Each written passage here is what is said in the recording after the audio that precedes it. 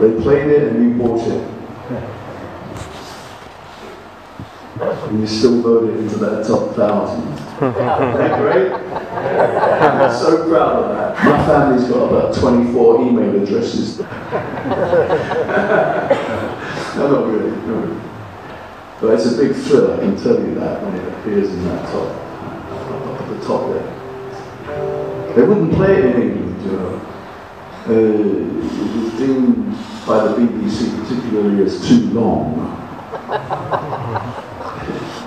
And within a year, the same record company, EMI, had released Bohemian Rhapsody. It's the way it goes, it's okay. But you bought it, and they bought it in Holland, and uh, made it a huge hit. And thank you for that. It's just, I wanted to just say that, that while I perform, I'm up here for over two hours and I, forget that. It's in here all the damn time. But it began here.